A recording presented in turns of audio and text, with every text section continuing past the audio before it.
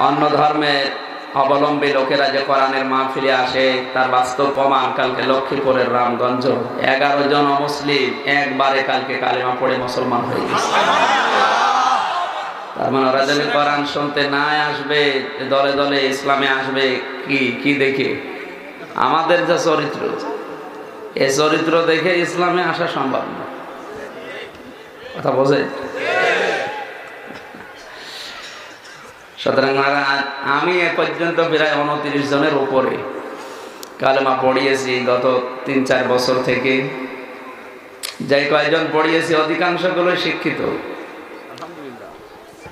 কেউ কলেজের অধ্যাপক কেউ বিসিএস ক্যাডার কেউ ডক্টর। এরা আমাদের এই চাল চলন আচার ব্যবহার চরিত্র দেখে মুসলমান হয়নি।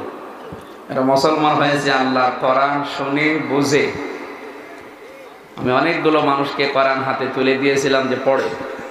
এটা শুধু আমাদের না, হাদা বায়ানুল্লিন নাস হোদাল্লিন নাস পৃথিবীতে মানুষ পদবাচ্চে যারা বিবেচিত, তাদের জন্য কোরআনে কারিম আল্লাহ দিয়েছেন। আপনি যেহেতু মানুষ, আপনি তো জানোয়ার না। নাকি? যেহেতু মানুষ, এই হিসাবে আপনি এটা পড়ে, আপনার অধিকার আছে।